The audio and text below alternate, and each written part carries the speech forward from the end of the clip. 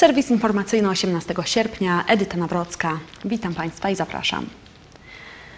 Podczas przekopywania terenu odkrywcy natrafili na warstwę iłów. To materiał skalny, który prawdopodobnie potwierdza istnienie tunelu, bo mógł służyć do jego uszczelnienia. Rzecznik odkrywców Andrzej Gajik twierdzi, że rozwiązanie zagadki jest coraz bliżej. Po drugim dniu prac odkrywcy nie znaleźli jeszcze tunelu ani pociągu. Natrafiono jednak na materiał, który może świadczyć, że rozwiązanie zagadki jest coraz bliżej. I teraz po co to było tutaj robione? Taka pulpa i rasta, po co ona była to robiona? Absolutnie na takim nasypie nie powinno to być. Tym bardziej, że to jest nad torem kolejowym. No i tutaj jest gdybanie, ale to już jest filozofia. Odkrywcy rozpoczęli trzeci dzień prac. W tej chwili trwa przekop e, korony nasypu kolejowego, czyli atakowane to jest z dwóch miejsc. Tutaj przy nas pracuje jedna koparka, druga jest po drugiej stronie. E, Przecinamy ten nasyp, tylko cały czas jest problem z kablami energetycznymi oraz kablami e, światłowodymi. Wtedy musimy pracę przerywać ręcznie, to wszystko jest obkopywane. Także na dzisiaj przecinamy przekop, przecinamy ten cały, całą koronę i przechodzimy później na stanowisko numer dwa. Zapał odkrywców nie gaśnie, choć musieli oni zmodyfikować swoje plany. Zmieniliśmy plany, e, miało to być robione od razu jednym przekopem. E, Myśmy zrobili takie dwa otwory sądujące, potem dopiero ten przekop. Także to wszystko się dzieje bardzo dynamicznie. Nadzieja nie gaśnie, wszyscy są pełni zapału. Jesteśmy tutaj przygotowani na wszystko, że nawet mogą te prace troszkę dłużej potrwać, ale problem zostanie rozwiązany, czyli cała ta zagadka zostanie rozwiązana. Więcej informacji już wkrótce. Rafał Wiernicki nowym prezesem Zamku Książ. Jakie zmiany czekają na turystów odwiedzających najważniejszy punkt na mapie Wałbrzycha? Rafał Wiernicki został zarekomendowany na stanowisko prezesa przez gminę Wałbrzych. Zastąpił tym samym odchodzącego Krzysztofa Urbańskiego. Nowy prezes to pasjonat regionu, bankowiec i współtwórca portalu dolnyśląsk.org.pl. Rafała Wiernickiego czeka trudne zadanie utrzymania prestiżu. Zamek Książ w ciągu ostatnich lat stał się znaną w Polsce marką i przynosi rekordowe od lat dochody. Jeśli chodzi o kwestie związane z przejęciem moich obowiązków, jestem, e, pracuję w zamku od 1 sierpnia, e, stąd jestem na razie na etapie zapoznawania się z większością e, dokumentów, jak również procedur w zamku. Moja wiedza dotychczasowa, jeśli chodzi o zamek, opierała się głównie na informacji z, e, ze sprawozdań finansowych, natomiast oczywiście poznaję ludzi i poznaję e, dokumenty. Rozgłos, jaki przyniósł regionowi wałbrzyskiemu Złoty Pociąg, przełożył się na sukces wszystkich atrakcji Dolnego Śląska. Zamek Książ wyjątkowo na tym skorzystał. bezpośrednio największą tajemnicą naszego regionu, która jest aktualnie e, przedmiotem początku eksploracji, czyli mówimy o słynnym Złotym Pociągu. E, My wpisujemy się w zamku e, w szeroką e, akcję promocyjną naszego regionu. To jest Explore Wałbrzych. To nie tylko Zamek Książa, ale również pozostałe atrakcje naszej ziemi, choćby Stara Kopalnia, e, choćby tak naprawdę inne podziemia, które znajdują się również na terenie aglomeracji wałbrzyskiej. Spytaliśmy nowego prezesa o oczekiwane od lat udostępnienie zwiedzającym podziemi zamku, gdzie obecnie znajduje się Instytut Geofizyki. Prowadzone tam badania uniemożliwiają wykorzystanie podziemi jako atrakcji turystycznej. E, Zdaję sobie sprawę z tego, że temat podziemi pod zamkiem budzi zawsze, e, budził od zawsze wielkie e, e, emocje i e, no, ta aura tajemniczości chciałaby wyjść na światło e, dzienne. Myślę, że potrzebujemy jeszcze chwili czasu na dopięcie wszelkich formalności, tak żeby można było ten e, proces rozpocząć i zakończyć no, w możliwie szybkim czasie. Przewidujemy, że przyszły rok będzie już czasem, kiedy podziemia będą dostępne dla turystów. Prezesowi życzymy powodzenia turystom i wałbrzyszanom, by Zamek Książ funkcjonował jeszcze lepiej. 2,5 tysiąca uczestników zgłosiło się do udziału w 17. Toyota Półmaraton Wałbrzych. Start biegu już w niedzielę 21 sierpnia o godzinie 11 z Wałbrzyskiego Rynku. Trasa półmaratonu przebiegać będzie ulicami Rynek, Sienkiewicza, Plac Magistracki, Dmowskiego, Drochobycka, Słowackiego, Barlickiego, Aleja Wyzwolenia, Piłsudskiego, Żwirki i Wigury, Plac Skarżyńskiego, Lotników, Chrobrego, przez Plac Grunwaldzki, Słowackiego, Lewartowskiego, Plac Teatralny, znów Lewartowskiego, Generała Zajączka, Limanowskiego, Słowackiego, Gdańską, Rynek, 1 maja, Matejki, Moniuszki i znów na Plac Magistracki. Toyota Półmaraton Wałbrzyski jest, e, e, jest po prostu jednym z e, najważniejszych w kalendarzu, w tym rytmie życia miasta dat czy wydarzeń. To jest, to jest coś, co przyciąga uwagę tysięcy nie tylko uczestników, bo chciałbym zwrócić uwagę, że w tym roku jest już zgłoszonych ponad 2,5 tysiąca uczestników. Lista jest zamknięta. Ja otrzymuję jako prezydent y, prośby samorządowców z Polski, żeby ich jakoś, przepraszam za wyrażenie, wcisnąć na tą listę. Ale uczestniczy w tym biegu również ogromna rzesza kibiców, y, osób, dla których y, to jest prawdziwe wydarzenie. No, przecież kiedyś tego w Śródmieściu nie było. Jednak raz do roku przyjeżdża tu pół Polski. E, Poza tym to jest ważne dlatego, że przez cały rok e, mogę już dzisiaj powiedzieć setki, a jeśli nie tysiące ludzi uczestniczy w, e, w tych biegach Biegaj Zapobiegaj. Co sobota na Nowym Mieście w Parku Sobieskiego. Już w tej chwili jest 150-200 osób. To, to nie jest zwyczajne. To nie jest tak, że w każdym mieście w Polsce, nawet tej wielkości, udaje się podtrzymać taki entuzjazm, takie zainteresowanie bieganiem. Na trasie maratonu będzie obowiązywał zakaz ruchu samochodów. Zamknięcie trasy przewidziano od godziny 9 do 15. Organizatorzy proszą o nieparkowanie pojazdów na wskazanych ulicach z uwagi na bezpieczeństwo biegaczy, jak również możliwość uszkodzenia pojazdów.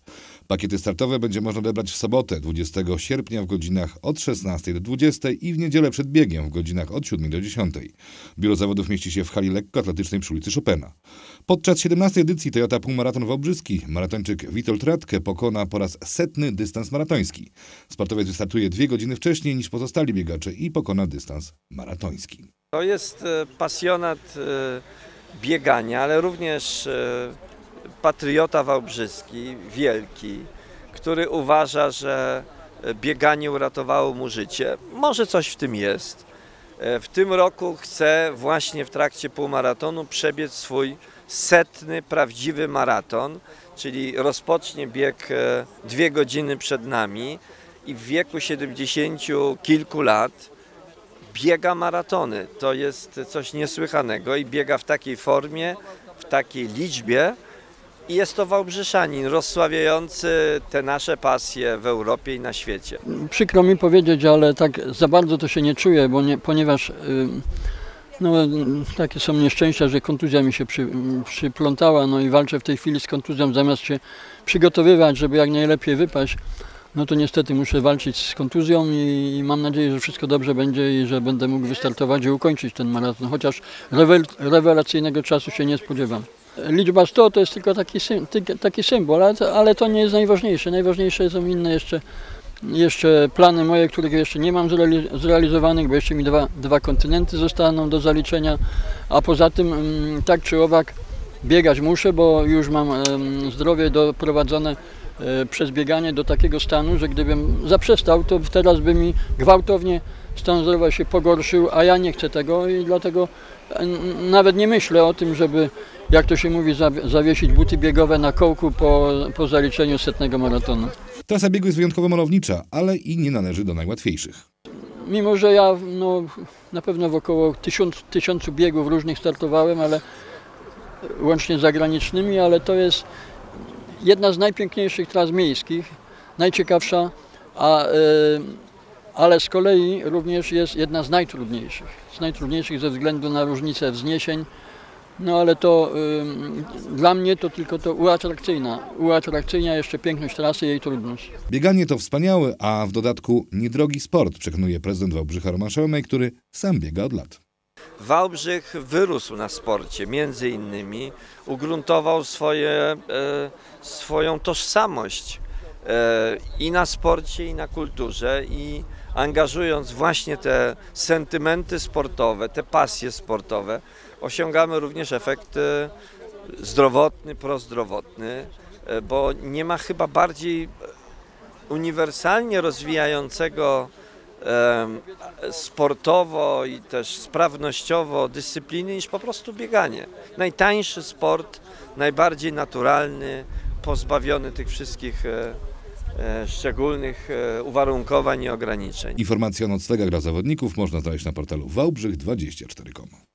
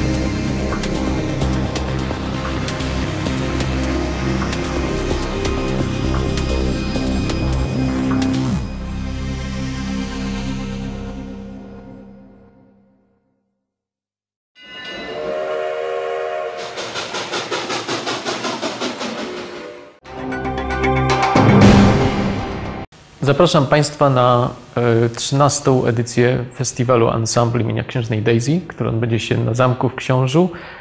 E, Pierwszy koncert inauguracyjny już 21 sierpnia w niedzielę. Ostatni koncert finałowy 28 w następną niedzielę. A pomiędzy tymi dwoma wydarzeniami odbędą się codziennie koncerty.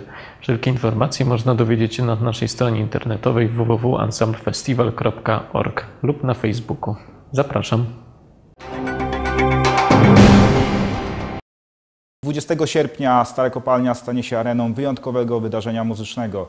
Festiwal Metal Mind po raz pierwszy zagości w Obrzychu. 10 zespołów, prawie 12 godzin mocnej metalowej, rockowej muzyki. Wśród nich takie gwiazdy jak Illusion, Decapitated czy Obscure Sphinx. Serdecznie zapraszamy wszystkich miłośników tego rodzaju muzyki. Bilety można zakupić w kasach Starej Kopalni, jak również za pośrednictwem e, serwisu e, biletowego Ticket Pro. Serdecznie zapraszamy. To już wszystkie wiadomości w dzisiejszym serwisie informacyjnym. Dziękuję za uwagę. Do zobaczenia.